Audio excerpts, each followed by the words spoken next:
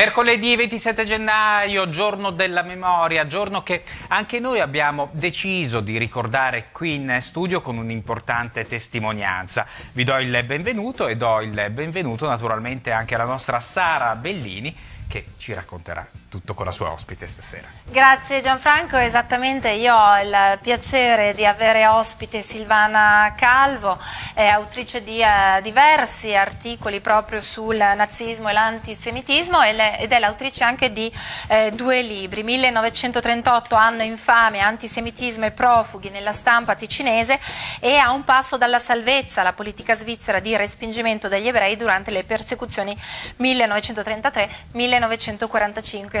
E allora benvenuta signora Calvo. Grazie. Vorrei chiederle, beh, innanzitutto cosa l'ha spinta ad affrontare nei suoi libri una tematica tanto tragica e complessa? Eh, buonasera. Direi che le motivazioni sono sempre più di una per fare una cosa. Diciamo, la prima spinta è venuta dalla lettura dei libri di Primo Levi, perché mi hanno mostrato e mi hanno anche un po' spaventato eh, nel vedere dove, si, dove cosa c'è in fondo al baratro di atteggiamenti di razzismo, di, di intolleranza, eccetera.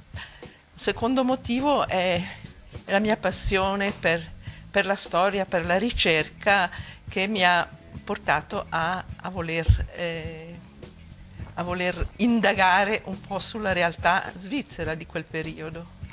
Ecco, lei tra l'altro è, è, di Locarno, ecco, come si fa a scegliere le parole, eh, diciamo così, le parole giuste per parlare di argomenti simili? Come ha dovuto lavorare su se stessa?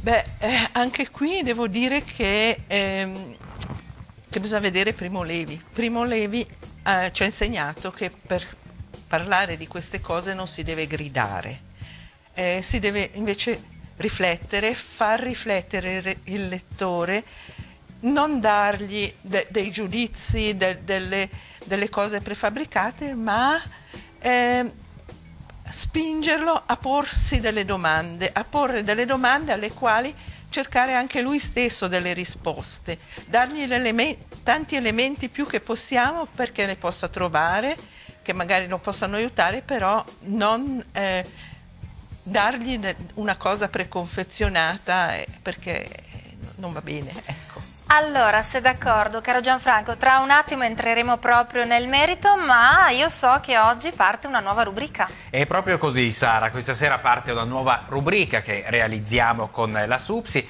una rubrica che di settimana in settimana ci farà scoprire tante professioni. Quindi, come si dice, impara l'arte.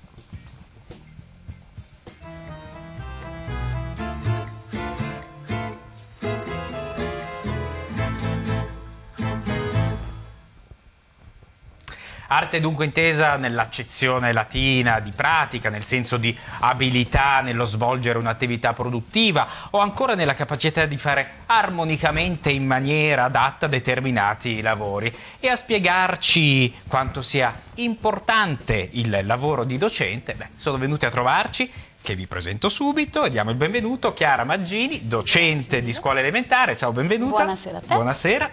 E benvenuto a Mario Bottinelli, docente di scuola media di educazione visiva e arti plastiche e formatore bachelor del DFA. Ricordiamo, DFA, Dipartimento Formazione e Apprendimento, è corretto? È corretto. Ecco, buonasera e benvenuti a tutte buonasera. e due. Chiara, Diciamo subito che non sei una docente qualsiasi, ma mi hanno detto sei maestra di una scuola elementare in una pentaclasse. Quindi se non ho capito esatto. male, dalla prima alla quinta tutti, tutti insieme. Tutti, eh, l'abbiamo un po' tutti.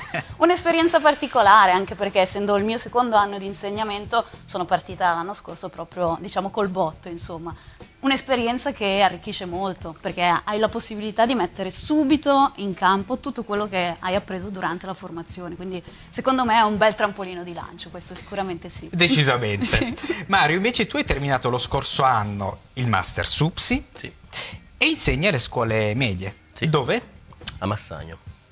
E come è iniziata la tua insomma, formazione per, per diventare poi docente di scuole medie?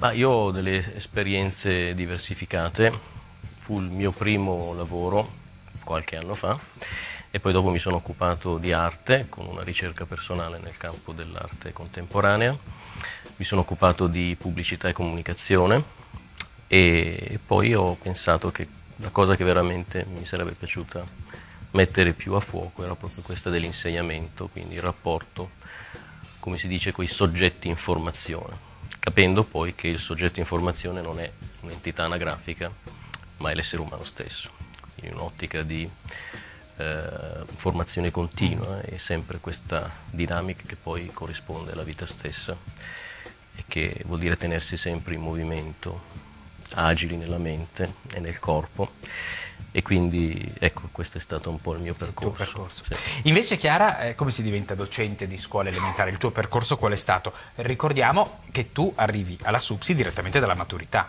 Allora, quello che è stato il mio percorso prima del DFA è scuola cantonale di commercio, come pure tanti altri dal liceo, insomma, o da esperienze un po' variegate. E dopodiché, è chiaro, sì, eh, tutta la formazione che prevede quindi il piano di studi, i tre anni di studio presso il DFA, e una formazione particolare, diciamo, piena e anche ricca di varie materie, quelle che poi potrai utilizzare sul campo, proprio quando eh, durante le pratiche, secondo me è il momento proprio in cui tu puoi veramente capire se è questo il tuo mestiere, mettendoti proprio in relazione con quelli che sono gli allievi. L'hai capito subito che era il tuo? Sinceramente sì, dalla prima pratica mi sono trovata talmente bene, ma anche in quello che è proprio la relazione che si instaura con gli allievi, è quello la cosa più particolare che trovo, perché ovviamente come ha ben detto non sono delle macchine, hai a che fare con degli esseri umani, quindi è quello l'importante secondo me. Invece Mario, eh, se posso chiedere, cosa hai imparato seguendo insomma, il master no, eh, alla SUPSI? Cioè, ehm, cosa hai imparato di nuovo rispetto a quello che avevi imparato precedentemente? Insomma? Sì, direi che ehm, possiamo dividerlo in, nei due anni. Il primo anno è una messa a fuoco più sulla disciplina, quindi sulla didattica, quella che si chiama la trasposizione, cioè come far passare il tuo sapere, il tuo anche saper fare, soprattutto nelle nostre materie, abbiamo a che fare con un sapere tecnico e anche formale, eh, quindi trasporlo in un piano didattico che sia efficace e quindi finalizzato all'apprendimento.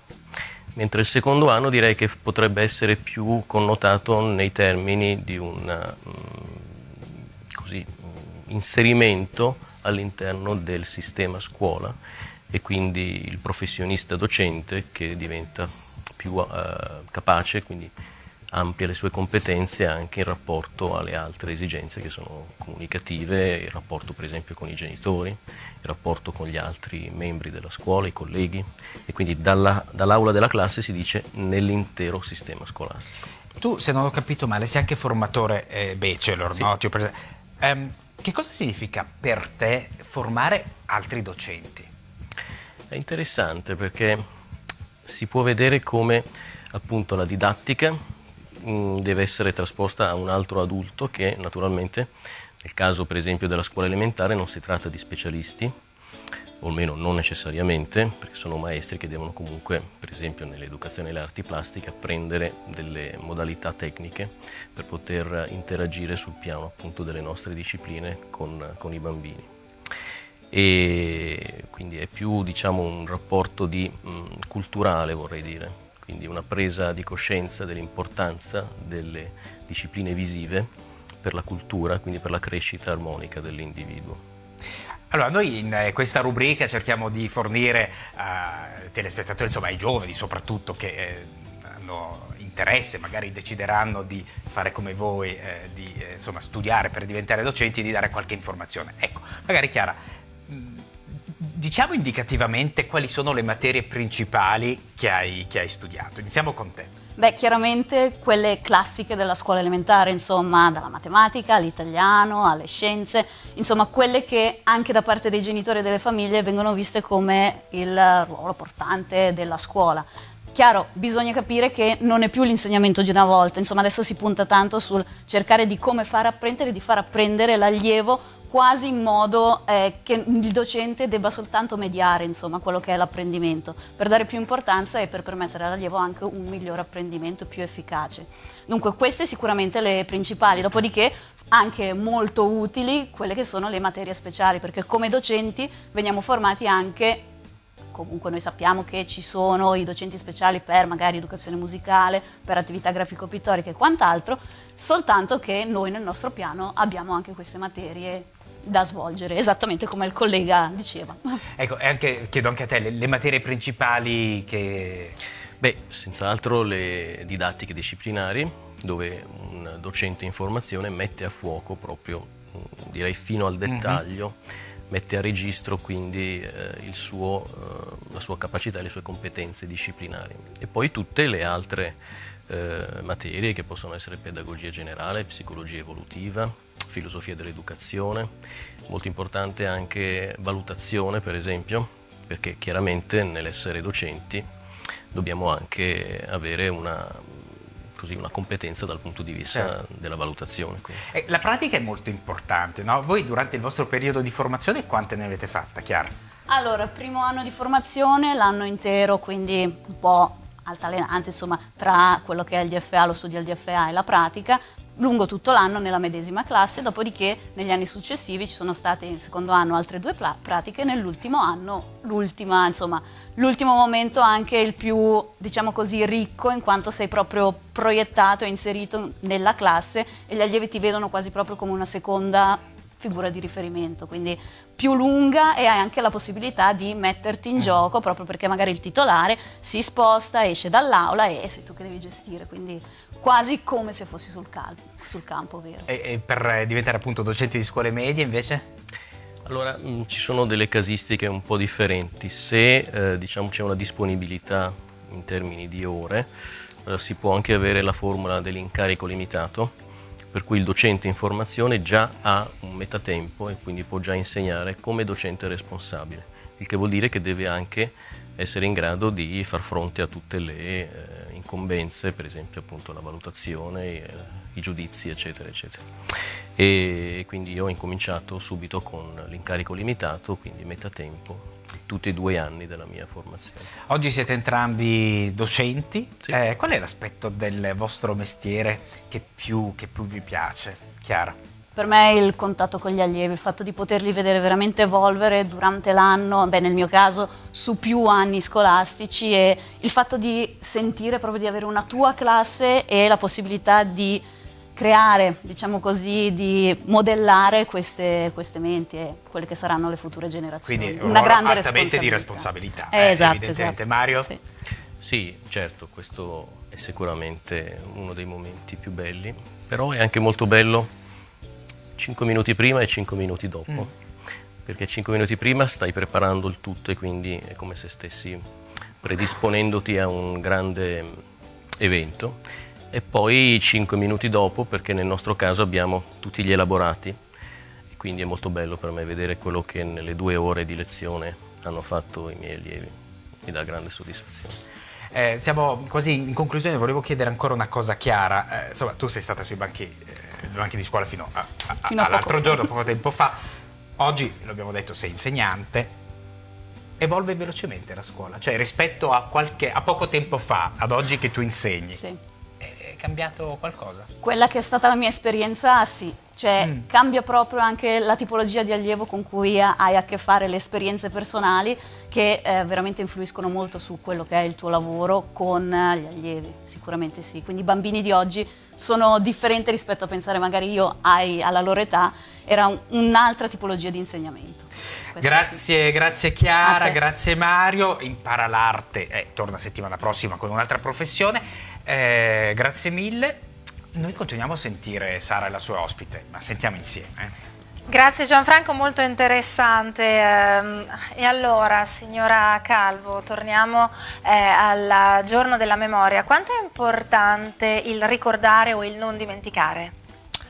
Beh, eh, il ricordare non dovrebbe essere solo una memoria, un, come dire, un, una riproduzione, per esempio, eh, di, di di immagini, per esempio per il giorno della memoria spesso eh, se si apre qualsiasi, guarda qualsiasi televisione si, si, trovano le solite immagini con i soliti mucchi di cadaveri e un, un po' qua, diventa quasi un po' un culto de, del, Dovrebbe essere una sorta di monito, sì, insomma. Sì, eh, però per quello che, che mi riguarda, eh, mi sembra che la memoria dovrebbe essere piuttosto una questione di, eh, di interiorizzazione, di, di, di, cercare di capire eh, perché certe cose sono capitate, no?